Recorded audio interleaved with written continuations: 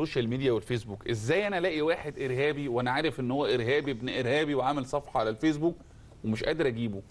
ده, ده موضوع كبير جدا. ليه بقى؟ لأن حضرتك أنت بتتعامل مع التكنولوجيا على إن التكنولوجيا ديت موجودة عندنا هنا. فبالتالي أنا لما ألاقي مثلا واحد عمل جريمة في مصر فالمفروض إن الشرطة تقبض عليه. طبيعي لأن ده عمل الموضوع في الحدود بتاعتك. إنما التكنولوجيا عابرة المفروض مارك يقبض عليه. ما بالظبط. مارك ما أعرف. بيتعاونش لعدة أسباب. اولا التكنولوجيا دي عابرة للحدود. يعني التكنولوجيا خارج حدود حضرتك ال servers والمواقع والحاجات دي كلها موجودة بره مصر.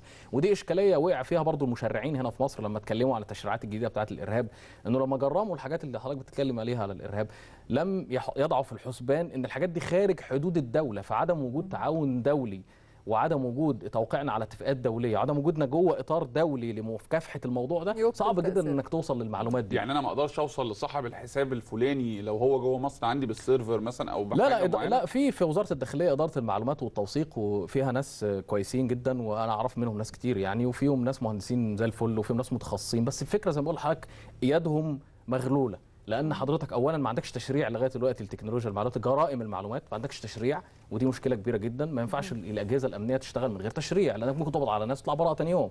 الحاجة الثانية والأهم إن إن التكنولوجيا زي ما بقول لحضرتك عبر الحدود فحضرتك لازم تتعاون مع الشركات اللي بره دي والشركات اللي بره دي مش هتتعاون معاك وأنت ما عندكش قانون.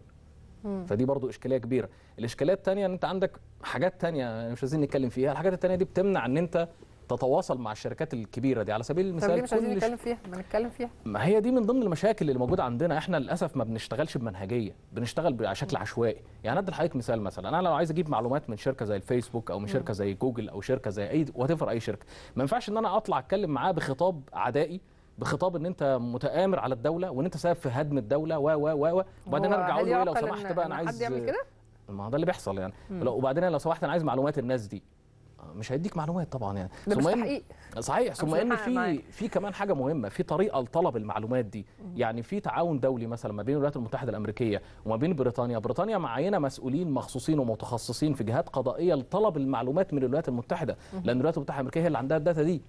فحضرتك عشان أجيبها ده موضوع محتاج تعاون دولي. ما ينفعش إن أنا كده إيه أصحى الصبح أقول والله أنا عايز أجيب ال accounts بتاعت الناس اللي على الفيسبوك دي. حضرتك مش هتعرف تجيبهم. مش هتعرف تجيبهم لأن معلوماتهم بره. وحضرتك ما عندكش هنا قانون ولا عندك الإمكانيات اللي يعني حتى في القضايا. الكبرى مثلا زي ذبح المصريين في ليبيا مثلا أو- والفيديو اللي تم بثه ساعتها أو غيره من فيديوهات الاغتيالات هل فيسبوك في أمريكا ما قدرتش توصل مثلا الفيديو ده من طلع من أنهي جهاز في أنهي منطقة لا ما أنا أقول لحضرتك على حاجة برضه عشان نحط الأمور في نصابها. مش كل المعلومات اللي حضرتك بتبقى متخيل إنها تبقى موجودة ممكن تكون موجودة عند شركات التكنولوجيا. يعني تريزا ماي على سبيل المثال لسه النهارده مطلعة تصريح وقالت إن إحنا المفروض آه، يعني نتعامل بشكل طف شوية مع شركات التكنولوجيا لأنها بتساعد في نشر الرسائل الإرهابية. طبعا ده لما بعد ما شافوا الحادثة اللي حصلت في في لندن يعني. فهم بيتكلموا في فكرة طب نتعامل معاهم إزاي؟ أنا عايز أقول